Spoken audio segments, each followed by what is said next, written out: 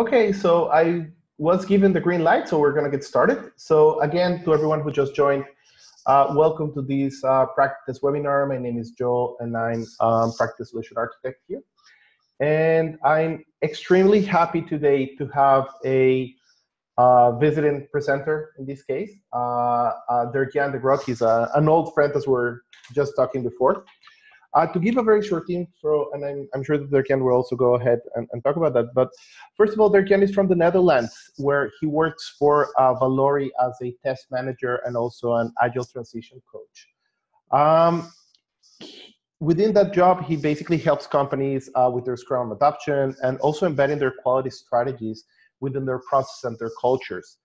Uh, he's uh, very keen, and I've actually seen them providing very, very good workshops. I've attended at least a couple of them as well as trainings. And he's a regular speaker in multiple conferences worldwide. And as I was telling him, we're actually meeting uh, later in October in QA and Test in Bilbao. So if anyone's going to be in Bilbao uh, in October in QA and Test, just uh, make sure to come and say hi to both of us. Yeah, um, join us for a beer or a good talk. Yeah. Uh, I'll go for the beer. You can talk with Derk-Jan later on. in any case, uh, he has written quite a lot of books and he's published in a number of magazines and publications. He also has a pretty interesting blog of his own. Uh, one of the things that is very uh, important to mention, and again, it's a very big honor to have him here. Back in 2014, he was actually awarded the uh, Eurostar Testing Excellence, Testing Excellence Award, which is uh, not given lightly, and, and he really deserves it for his work in the community. And back in 2016, he published his latest book, pretty good read, by the way, which is called um, Agile in the Real World, Starting with Scrum. Today, Derk-Jan will actually talk to us uh, about how a test manager can make a difference even in today's uh, new testing reality. And again, it's a pretty cool uh, session. I just want to tell everyone that um, you can ask questions during the session. You have a Q&A uh, window in the session. Uh, we're going to let Derk-Jan though go over the slides by himself, and will he will be answering questions towards the end. So if you have any questions, go ahead and ask them using the Q and he will address them uh, towards the end of the session. So uh, with that, I leave you to uh, Derk-Jan, and uh, you have the floor. Thank you very much, and welcome everybody. Um, yeah, we, we have a very big crowd today because I heard there were about 700 people uh, planning to participate. Uh, and that makes this an interesting topic because a lot of people seem to be interested in, in this. And I reckon most of you are test managers and, and you're triggered by the title. And maybe some of you are triggered by the title because you are a test manager and you're wondering where does this road lead me to and what should I do to stay in my profession? How can I make a difference for the organization, be rewarded now and in the near future? Um, I'm always having difficulties with ex, ex, uh, estimating how many organizations are doing Scrum or in an agile context, but it's a vast amount of organizations that are growing. So most test managers, and you, I count among them, uh, probably have encountered and uh, experienced that things are changing rapidly. So I'd like to start off with a quote of one of my favorite artists, Peter Gabriel, and he wrote a song Downside Up, and in that he says, the only constant that I'm sure of is this accelerating change, a rate of change. And I thought it's a very nice sentence because things are happening so fast nowadays and there's so many things changing and they will be changing even more and faster tomorrow. Uh, so the acceleration might be the only constant. And we have to cope with that. And we as, of course, we as businesses, as people, um, organizations, uh, IT personnel, and not in the last, uh, of course, we as testers and test managers. And Peter Gabriel is not an IT person, so he sings nice songs, uh, but they're not about IT. Would he be an IT singer? He might be singing a completely different tune and singing titles like Agile Scrum, CI, CD, DevOps, wondering what songs that would make. Uh, but these are some of the trends that I think we are coping with, we are dealing with. Uh, so we're talking about Agile, big thing, of course test-driven development, alpha, beta tester, and maybe some of the smaller words, uh, the blockchain and the test bots, uh, the augmented reality, which are more futuristic trends. Uh, is AI on there? It should be on there, um, where not everybody will be working on right now, but might be in the future. So there's a lot of things coming our way, and uh, the way we organize our work and our organization organization being run are changing big time. So how do we maintain our position as a test manager if we want that? How can we contribute to quality? How can we add value? And that's basically the, the goal of, uh, of my, uh, my webinar today. Uh, I'd like to find out with you where we can add value in today's context. And the roadmap that I made is a quite simple one with four stops along the way, uh, where I would like to look at test management in the traditional context, just have a little look back, like what did test managers actually do in the old days in the traditional context, um, and what's changing when we go agile, and maybe even beyond that. Uh, and then I would like to share some first settings in the real world, uh, some experience and some results of workshops that I did um, to give you an idea in what settings test management kind of roles do add value, in my opinion. And I will make the final transition like, what does that mean for you? How can you add value as a test manager? And I hope you agree with that as a proposition. But uh, since I'm only sitting behind the screen, I cannot see you nothing. Um, so let's look at the traditional test manager. Uh, what does the test manager do? If you look in your own uh, experience in your past, uh, what kind of activities were you most keen on working on? What activities did you do the most, spend the most time on? What did you find the most important ones? And maybe a good question is, what are the ones that were most rewarded by the company, most most appreciated? That might be different as well. Well, I made a little list, and you can see the little guy in the in the corner. is looking. He's a young guy, and he's looking with some awe at this list. Is that all you have to do as a test manager? Yes, that's all that we did in traditional context as a test manager. So we were. I'm not going to read all the things down. I think. Uh, but uh, we were saying in the ISTQB kind of thing, we should be working on a test policy as the, the highest hook in the organization, where we say like testing and quality is important. So we have management commitment. Uh, I didn't do that that much because many organizations were not really up to that yet. But I spent a great deal of time making up test strategies, whether that was for the team, small test strategy, or maybe for bigger for organizations, which I find a very interesting game. And if we have test strategy, we need budget and people resourcing for that. And, and we have to fight for the quality because we all know the people that have been around longer that we had big projects that were high risk, full exposure, uh, and, and then a lot of adoptions that could go wrong. And then as a test manager, we said, oh, we want to have this strategy and we need to do proper testing. And they say, yeah, but you only got a limited budget. That was the end of the game. Well, not the end because we invited product risk analysis. So we say we do the most important things. Um, but that's a little bit how it went in the old days. And of course, uh, we spend a lot of time on getting the environment ready, planning releases. The release advice and the test report is a very important thing. But at the end of the run, we said we did a lot of testing, but before you go live, I want to tell you what I find of, of, of the, the application or the system. And I want to share my results and give you an advice whether you should go live or not. Another thing that I spend a lot of time on, and what you will see that is disappearing a little bit more, is the defect triage. I, I had a lot of big meetings where we had long lists running through all the defects that were being found and we're planning whether they should be included in the next release or solved or whether they were changes or high priority or we needed a workaround. And we'll see that that will well, diminish in, in the agile world. So there's a lot of things that test managers, traditional test managers, spend their time on. The interesting question, of course, and I was already proceeding that a little, is what happens if we enter the agile world?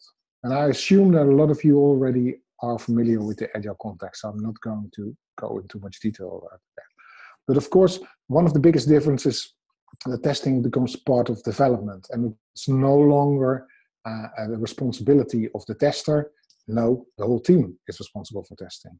So that makes it a little bit more difficult for test managers to manage, of course, because they're not developers managers, they're test managers. And another thing is that we should emphasize testing, of course, but in the ideal world, uh, within Agile, when an item is done, it's quality and it's tested. So, what's the need for a test manager? And if we go beyond that and we go into continuous integration and deployment, automation becomes more and more important um, and most of the tests are automated and are becoming part of the delivery pipeline. So that means that tests are being launched from the build server So we don't even have to start the tests or think about starting the tests. They're tested, started automatically. And when tests fail, the build is broken down and will no longer be migrated to the next stage. So we don't even have to look at the results because it's all done automatically. So there's not much management needed for that. I can imagine some people say, yeah, that's over exaggerated. And of course, we need to still emphasize the testing. And uh, not, not all the testing is being done automated, etc. I agree with you, but um, this is just to paint a picture in a rough idea where we're going to. I like this blog on, uh, on the TechWell community by Nishi Grover Garg.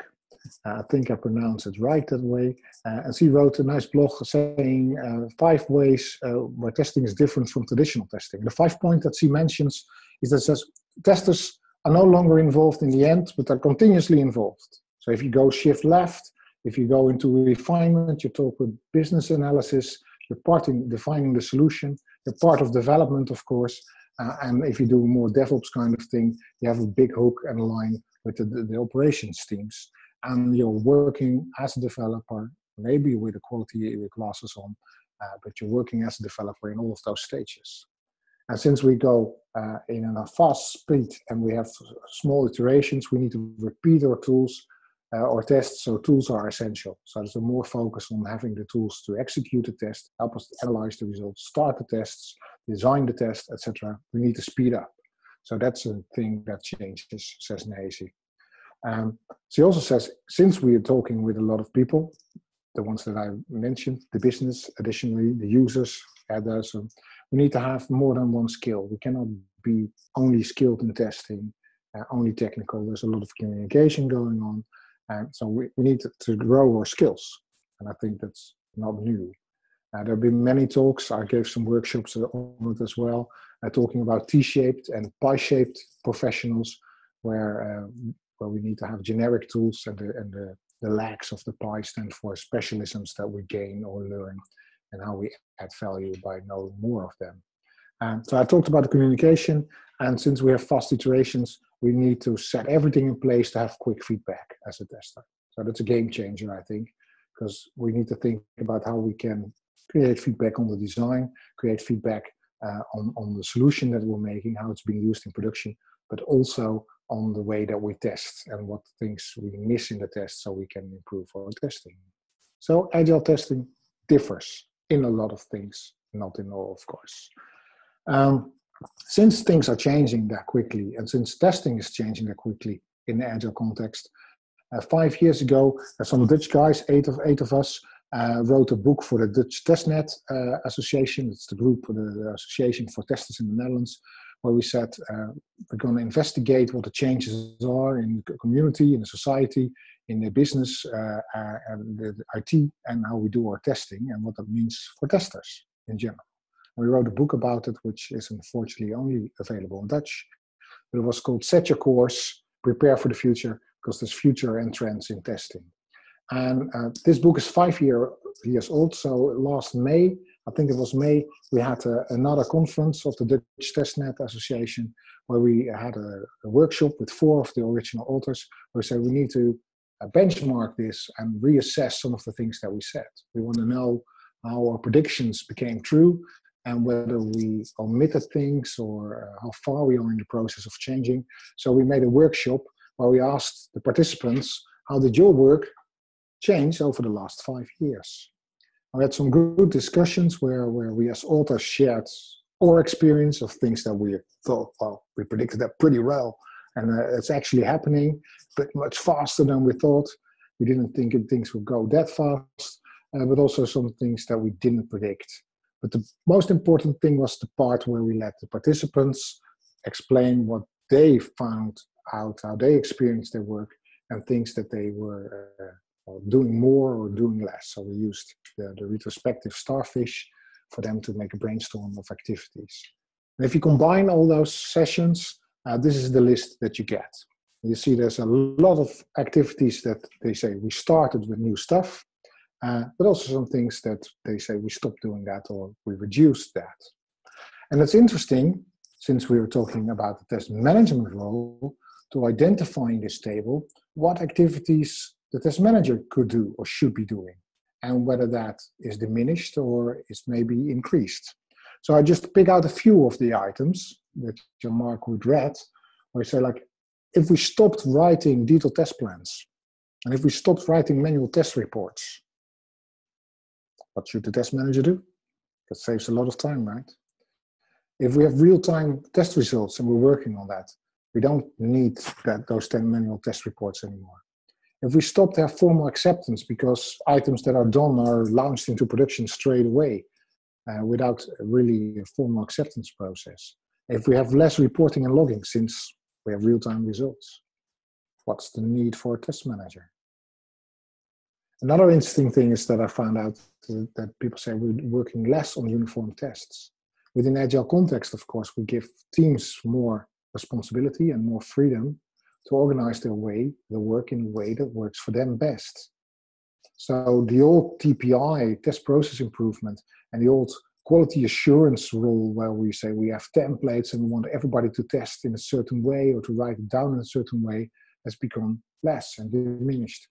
Uh, so some advocate work that the test manager could be do, have been doing is reduced.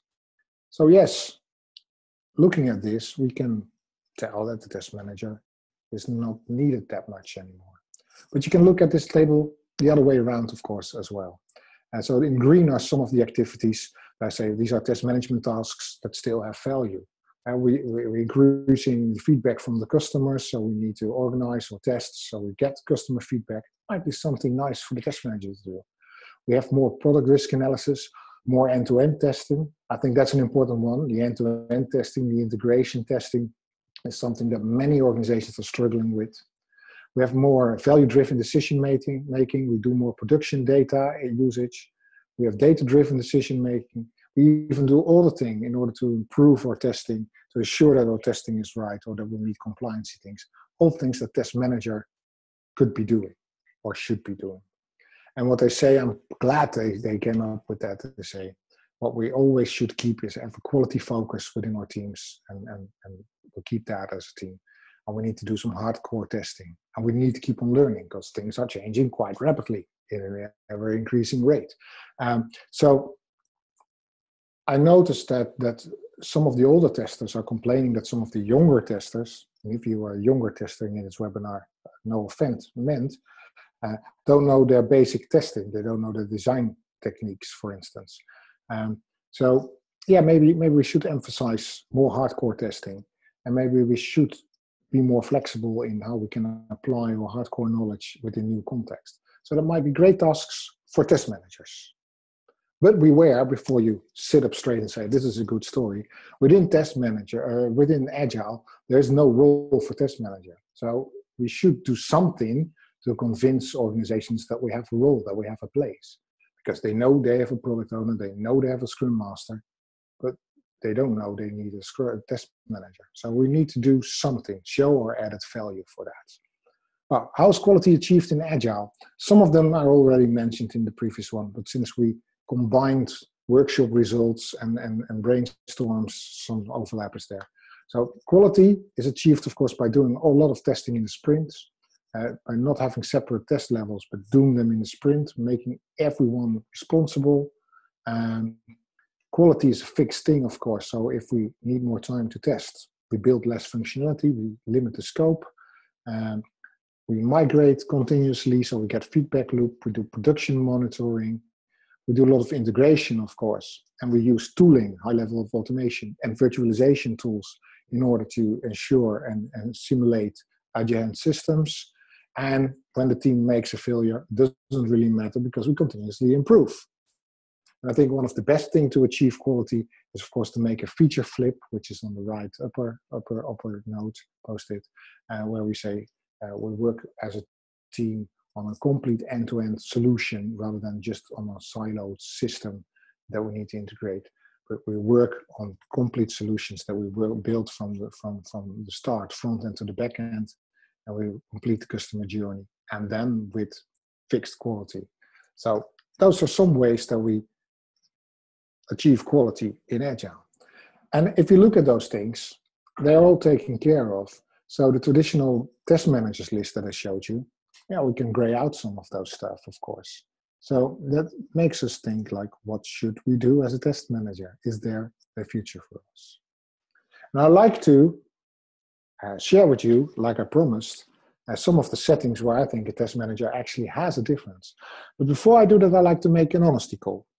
Because, yeah, if I convince you that there's a value as a test manager in these settings, am I doing the right thing? Because as a test manager, I'm tend to seek out ways to stay in demand and add my value. But is that what the organizations want? Because organizations don't really care about test managers or something. Uh, they just want their end result. So there might be a message which is bigger than my message, and that is, well, get to do something else because test managers in dying race. And there are organizations that limit the test management layers big time. So there might not be a future there.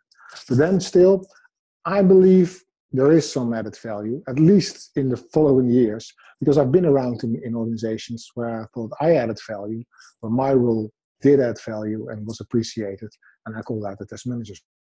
So let's look into that.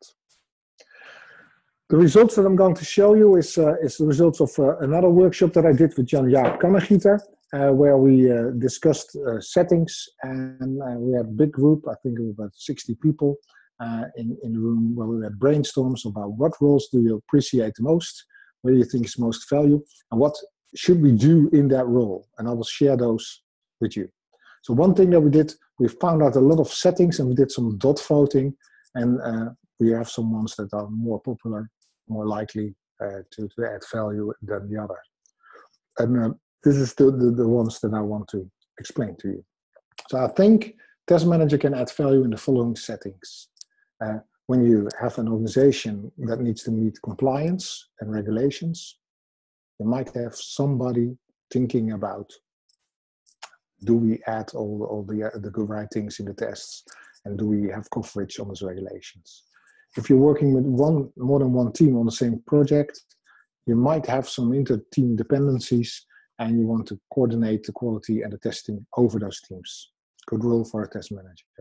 If you have formal acceptance, there are settings where that's really important. Uh, you might need the test manager. Also, when there's a lot of integration testing needed, uh, you might want to have somebody focusing on getting the integration right. And then you have slightly different roles, I think, uh, but nevertheless, also uh, of great value. Uh, the, the more HR manager that is taking care of a lot of testers, of group of testers, and people that are working constantly on getting the test craftsmanship higher in the organization. And I like to introduce those settings uh, by, uh, by, uh, by introducing some friends of mine. These are my uh, virtual personas, uh, Stephen, Julian, Andreas. I will start off with them and they will be telling you uh, what, what they are doing in their daily job and how they think they can add value. So let us start by Andreas. He's a little bit older and he's gained seniority so he can play the role as overall test manager. And when you ask him, what's your mission? He says, well, I ensure that all the teams in the project in the project are working on the right tests. And why should you bother about that? He says, well, I want to reduce overlap, prevent gaps, and the teams should work efficiently on overall quality. Interesting mission. So, what do you do, Andreas? Well, what Andreas is doing, and you see some of the old test management things in there, like defining the overall quality strategy, watching boundaries between teams. Uh, he's doing risk analysis and monitoring the risks. Uh, you saw in the list of the earlier workshop that a lot of people do more risk analysis. Well, that's needed in these kind of settings when more than one team are working on the same item. What's also important is to make sure that definitions of done are in line, because there's no use to integrate your software and have as a team that has testing deeply involved on the on, on, on the on the definition of done and do thorough testing if you integrate that with a team that doesn't have testing at all on the definition of done, just as an example. Um, so you would monitor that all the teams do their test coverage, work on the things that are in the quality strategy. If the the, the risk analysis shows that non-functional testing is important, which very often is, somebody should watch over whether they actually do that. And maybe you should help teams to reach an acceptable level of testing. If they have problems with doing proper testing because they're developers and not testers, or whether you think that the testers should learn more, it might be wise to do that. And of course, in the end-to-end, end-to-end testing is necessary. I like this a lot because I gave some presentations about what I think should be basic concept of the agile test quality, agile quality strategy, and uh, these five items I've presented quite quite a bit, and I think there's some overlap. They they they make each other stronger because it says we need to know as a test manager what we need to test and who's testing it at what stage. We need to provide dashboard information or intelligence about where the project is going or the release is going so we can maybe change things, set priorities in a different order or shift load balance work over various teams. Relay responsibilities low in the team. So they should be doing their own tests and they're responsible for their own testing and quality but we might be auditing the work in order to ensure that that's in place. And if we notice that it's not, we should be coaching them. We should be training them in order to make it better. And then not all the tests might be fitting in a sprint. Think about the end-to-end testing or uh, tests that need special skills that are not available in the team, like security testing or something. We might need to organize that. We like to have them in the team, but maybe we need to organize that. And it has great benefits. So we enhance the overall quality, we have more risk control, more transparency, we take away bottlenecks, and teams become more efficient if we train them well. But note what Andreas says, I don't want to have uniformity in the way that the teams test, because that's up to them. That's not my task. If we're working towards a single single release, uh, they might be thinking about the acceptance. And Andrea of Stefan is uh, the acceptance manager. So he no longer calls himself a test manager, he calls himself an acceptance manager. And he says, I ensure that all the parties that I work with focus on the right things and know what's needed in order to have a formal acceptance. Because I want to succeed our mission as a project or as a release without late surprises.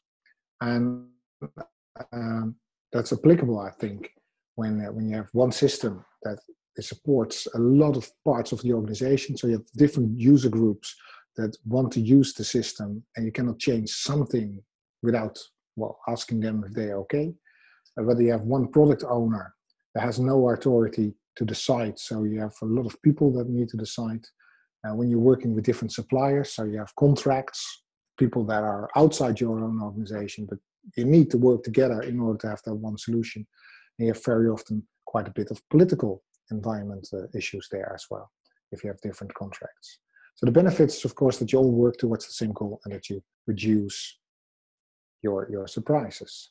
And uh, what he's doing, our uh, our acceptance manager, he's working on acceptance criteria, make sure that they are included, they are clear. He does a lot of stakeholder management. He keeps track on the progress and uh, stimulates collaboration. And by doing that, he becomes a trusted wing partner.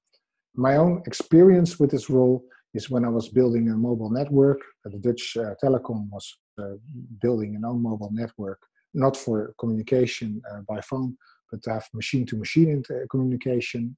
Um, and uh, I was overall a test manager. And when I came on the job, I started talking with all the different parties and contractors, and I found out that I was missing something. And what I was missing was we didn't think about how we how, how we should accept. So start start with the end in mind.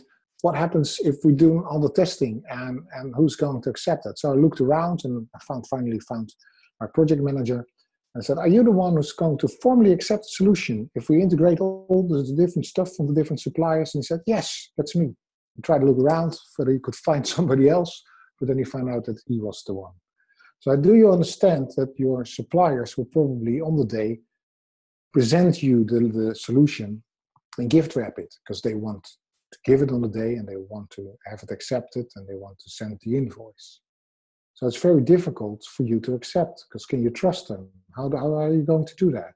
And I suggested him to say like, I can be your test manager or your acceptance manager and can start a witness process where I engage with the development process and with the different suppliers and talk with them about testing and I go to them and I say, I offer my knowledge, but I'm also looking for how you deal with the quality and the risks and the, and the problems that you have.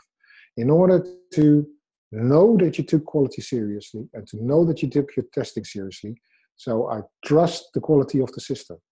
So on the day that you gift wrap your, your, your solution and go to, to the acceptance party, and I'll be standing next to you and I'll be saying, hey, they did a good job. They took quality quite seriously. So I think you should trust them if they say it's good. Or if you don't work along with me or you mess up, I will be telling the other thing. I'll go standing next to the customer and then I'll say, I shouldn't really trust it because, well, they didn't take quality that seriously.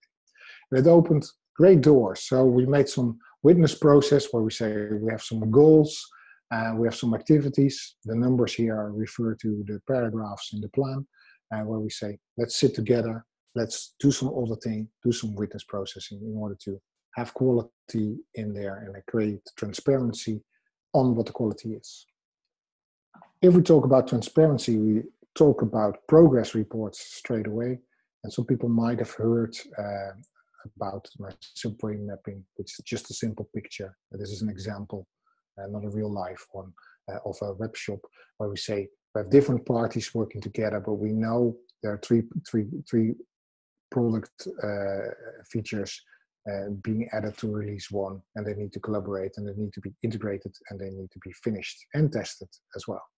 This is just a picture to visualize, to make testing and, and the dependencies visible on management level and to talk about quality on a management level, which works great.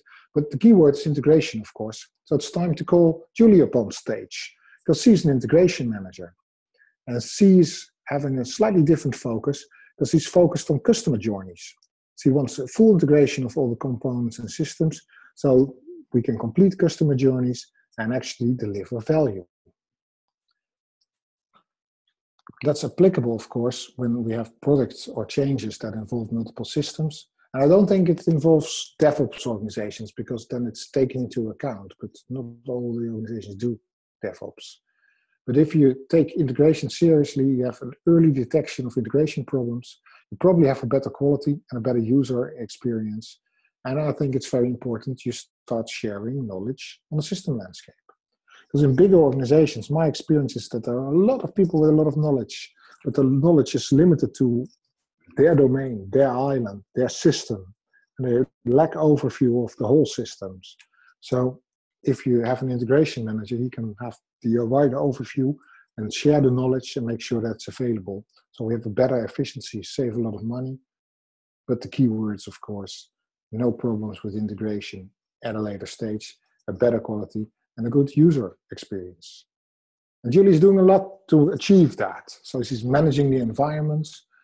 She's ensuring that there's virtualization in place, so we're not dependent on, on the other systems and can start the integration and interface testing in the early stage. Uh, she's participating in the Scrum of Scrums because she knows what needs to be integrated and she can compare the progress of the one team with the other team and combine them and say like remember you have to integrate with the other team talk with them because they have uh, some delay, see how you can do that. So there's a lot of communication, etc. And she might be drafting customer journeys and end-to-end scenarios if they are not available. By doing that, she becomes a quality ambassador and she has a progress information about whether the end-to-end customer journey actually can be achieved. My own experience story was in the end in the energy market, where we were having a big project where we're making a lot of small adaptations in, in many of the systems. So the adaptations themselves might not have been that challenging, but getting the end-to-end process working and making the customer journey a happy journey was a challenge. And there were a lot of things lacking in this project. Um, there was no architecture, uh, there was not really clear what the interfaces were, the acceptance criteria were not clear, and requirements were not really traceable. So I was really challenging, challenged as a test manager because I wanted to prove that the quality was okay. And I wanted to ensure that we had that proof as early as possible so I could reduce the amount of late surprises. So, like Julie, with the focus on customer journey, I kind of defined some end to end scenarios, some customer journeys, where I said to the product owners, there were like eight or 10 product owners in the project, uh, I said to them, uh, Do you agree that if we cannot complete these few customer journeys, which are high level basic customer journeys. We're not done yet. We're not ready. And they agreed on that.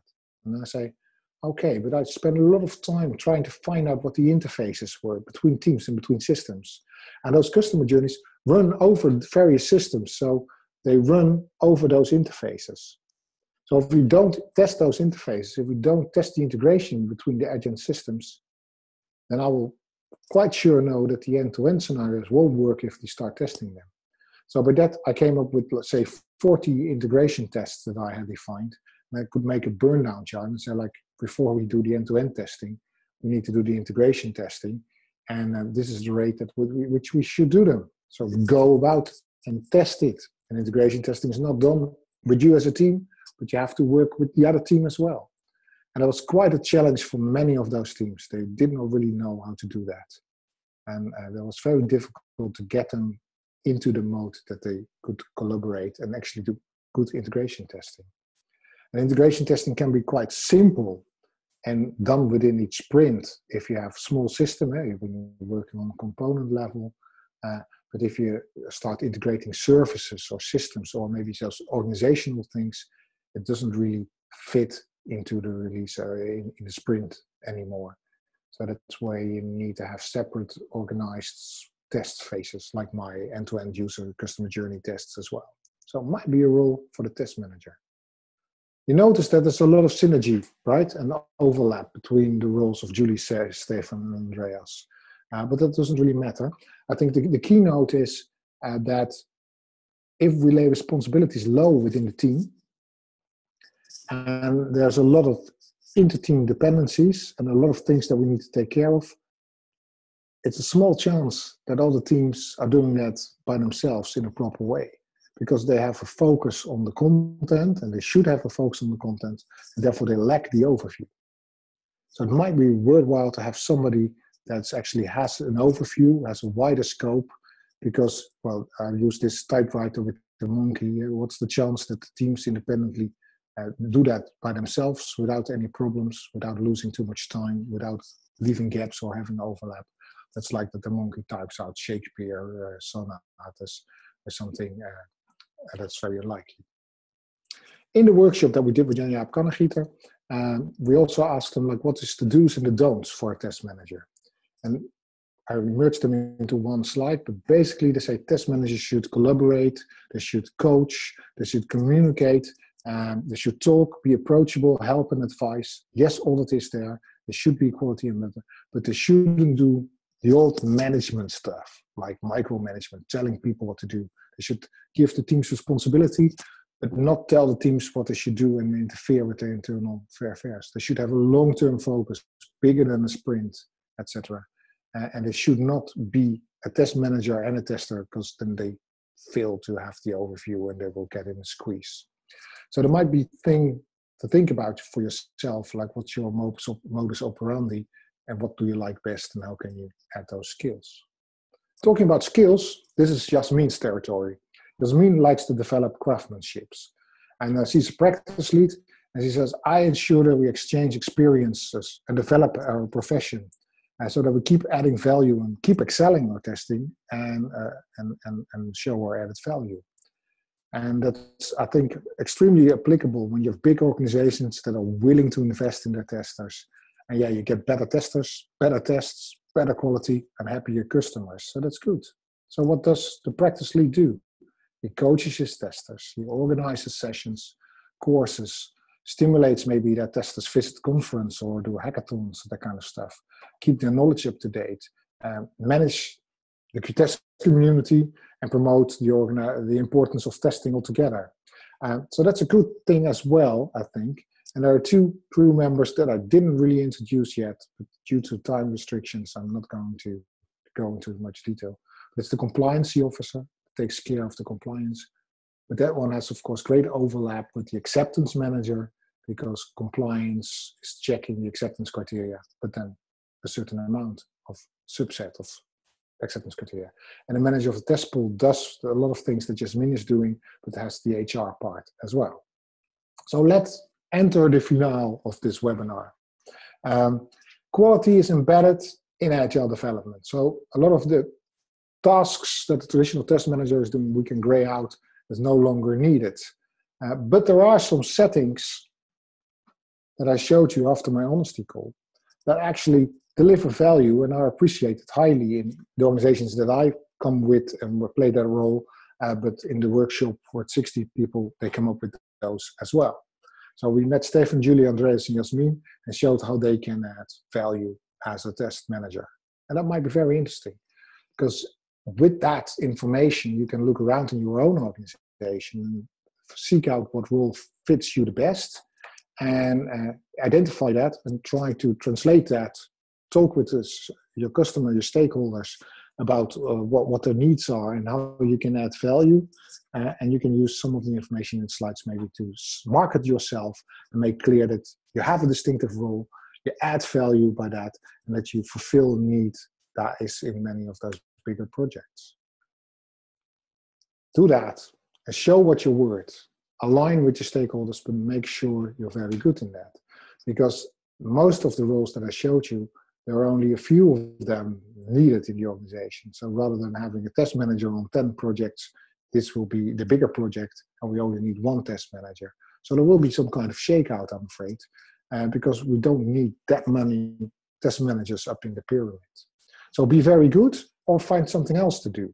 In the book that I refer to, uh, we made a transition matrix in 2012, five years ago, where we said uh, from certain roles, it's likely to transform or trans, uh, transit into other stages, uh, other roles, and not all the roles that are responsible.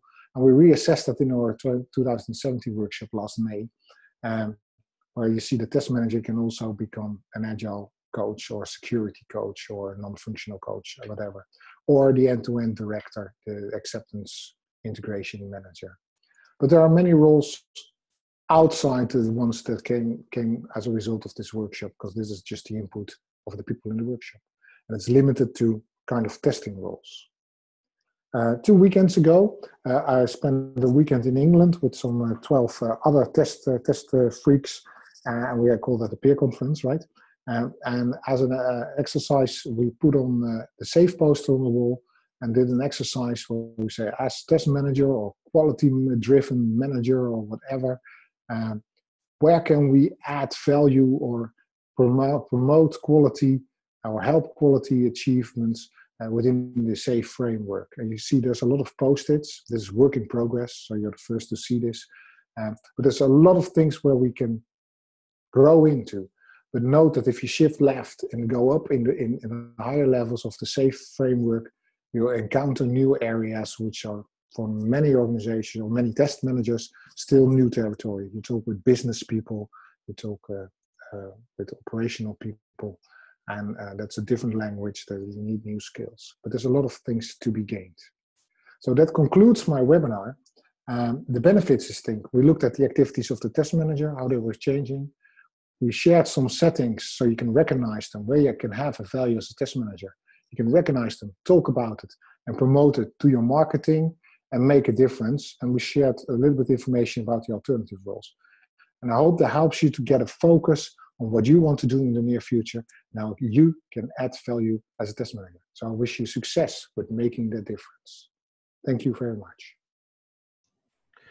Again, thanks a lot. I think that again, uh, from from the side and from having seen this topic uh, reviewed a number of times, I think that you did incredibly, and you had quite a lot of, of, of insights. So so thank you, thank you very much. Um, before we move over to um, just a second. Before I move over to um, the Q&A part, and we do have a couple of section of questions that, that we want to go over. I do want to talk a little bit about uh, PractiTest who's actually sponsoring these sessions and hosting and, and a couple of other activities that are coming down the road. So first of all, about PractiTest, guys, in case you haven't uh, heard about uh, us already, it's a pretty cool QA management solution. Again, not related to Derk-Jan, but they're hosting the session, so just that you know, uh, it's a pretty amazing QA management tool. It's very intuitive, yet it's very professional and flexible. It integrates with everything that you're actually working with. And uh, we have a two-week evaluation license, so if you just are looking for something to, to understand if you can do better test management for your testing team, go ahead and, and uh, use our two-week evaluation license from the PractiTest site. Um, I want to talk about another uh, event that is coming up, uh, actually towards the end of November. This is the online test TestConf. And actually, can also talk in one of our earliest earlier online test companies. They actually a full blown testing conference that is first of all 100% online, so you don't need to travel anywhere, and you can just attend it from your home, your office, wherever you want, and it's 100% free. So again, the same type of, of sessions that we get from all the very big conferences. For example, this year we have uh, James Bach actually doing a keynote and, and some uh, additional very interesting people talking. So it's very recommended. And again, you can go to onlinetestconf.com and uh, sign up for that. Uh, but again, enough of plugins here. Uh, there, can, there have been a couple of interesting questions that were asked during the session. Uh, I'm sure we won't have time to go over all of them. But there are a couple that I think are, are more interesting, and I would really appreciate if you can go over them a little bit. Uh, you read them out? Because yes. I don't have them on my screen. Uh, you should be able to find them, but I will read them out anyways. Don't worry about it. Uh, um, yeah. no, no, don't worry. Um, it says here that whether it's educating your testers or agile development teams, what can the traditional test manager bring? Meaning and, i guess that it's a little bit about imagine one test manager who will not go over all the different personas and you need to focus in very much what is the biggest thing the, the one two or three biggest things that this test manager transitioning to an agile team or, or to a new testing team should actually bring with him? From what should he she or she actually actually start in there I think if I understand the question right, and my answer would be uh, the one slide with the do's and the don'ts. So you, you, you could answer this question by, by mentioning a lot of knowledge or skills, uh, so practical practical stuff. Um, but isn't the value in in empowering the teams, uh, make sure that they can do what they want best? So that could be the coaching as well um, and, and creating the overview in the rest of the organization. So be a quality ambassador and talk to the organization and say like these things need to be in place and translate that to the teams and say like you're the professional teams. Make sure that this works. I can help you with that uh, but you won't get much interference by the by the by the other peoples because we talked about it and i'm the one who's bringing you the message. Find a clever solution to ensure this kind of types of tests. Is that an answer, you think, to the question? I think that it's a very good start. Uh, and I think that, again, as, as, a manager of the transition team should actually be nice. Um, there's another question that actually I have it, and I had it while, while going over your slides, and it comes from questions that I have been asked actually in, in London about two weeks ago when I was there. Um, and I want to, to take from your experience, and again, looking from the from the QA manager perspective, and we were talking about agile and DevOps back in the day, and they were saying, and this was a couple of people just nodding their head saying that they see the same, where their teams are quote unquote saying they're switching over to agile, maybe even to DevOps, but they're not doing it correctly, and so it becomes very frustrating for the testing team that it becomes a kind of broken waterfall model where not the whole team is, is responsible for quality and, and there are a number of other principles that are not taken and not done.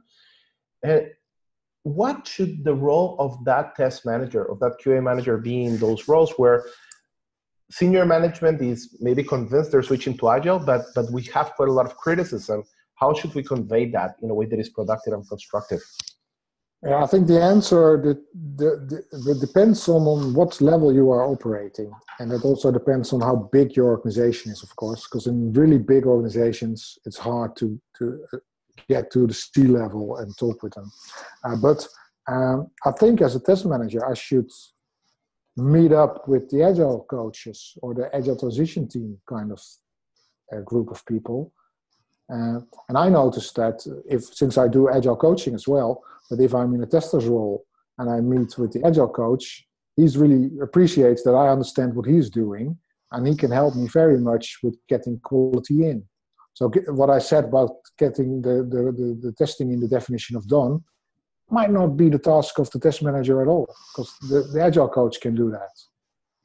And so, so I think collaboration with, with, with the agile sponsors uh, is a good way to get quality in the back door.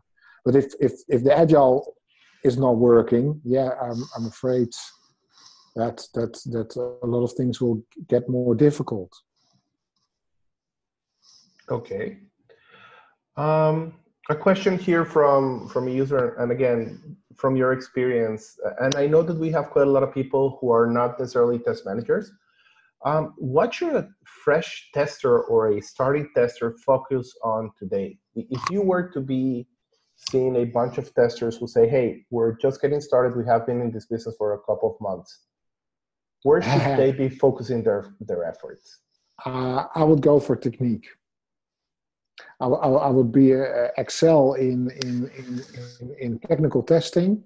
So know your test automation and hook on with the developers.